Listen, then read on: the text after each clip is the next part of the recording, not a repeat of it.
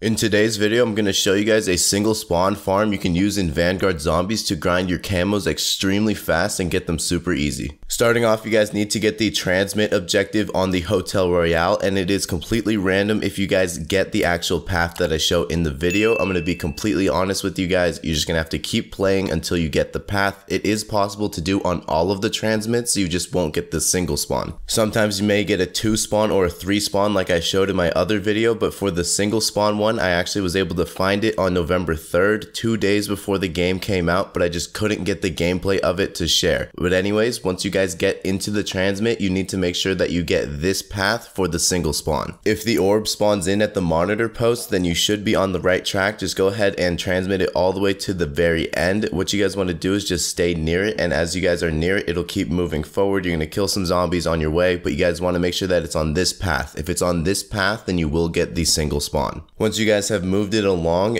all you want to do is make sure you place it in a spot that has the shield right at the spot that I have it here. So as you guys can see, this is the spot that I chose to place it. Run all the way to the front, right where the shield ends over here in the employee access. And then this is where all of the zombies are now going to spawn. You can do this solo or with an entire team. As you guys can see, my friend Sweetie over there, he's behind the orb. You just need to make sure when you run over to this spot, you go around the orb. That way you don't push it forward and then actually complete the objective. So you need to make sure you go around the orb so that way you can stay over here in front of it and have all the zombies spawn in front of you. As you guys can see now, everything on the map is literally coming out of this one spawn so you can get your camos extremely easily because they will literally just keep spawning here. So if you guys wanted to grind all of your camos, this is the exact thing to do. One thing I do have to mention is sometimes the zombies can get clumped up and not actually come up through the spawn as fast as they normally would. So all you guys have to do is throw a grenade down there or run over to the little side part on the map where you can drop down. You can shoot them from over over there as well. That way you can prevent them from piling up down there and it'll fix the spawn, come back up to the spot, and then you guys can keep going with the single spawn. If you enjoyed this video, do me a huge favor by leaving a like and subscribing for a ray gun. I will see you guys next time. Peace.